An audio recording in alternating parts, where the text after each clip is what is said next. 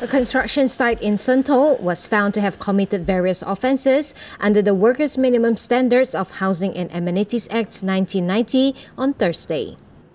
A spokesperson from the Kuala Lumpur Labour Department said the offences included not providing basic necessities for workers at their living quarters.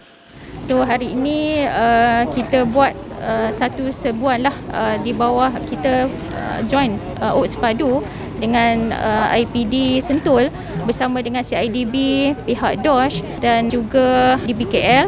Di bawah Akta 446 memang majikan telah langgar lah mengikut uh, spesifikasi minimum perumahan uh, dan penginapan pekerja. Dan kita dapati kita semak uh, satu penginapan memang tak ikut spek lah minimum eh. So tak disediakan katil tilam 4 inci tidak ada uh, mari berkunci pun tak ada dan uh, dapati kipas pun tak ada lah disediakan bantal selimut pun tidak ada disediakan. Jadi ni memang dah satu kesalahan lah uh, di bawah akta 446. The employer would be issued with a notice to improve the facilities. Follow-up inspections will be conducted in two weeks.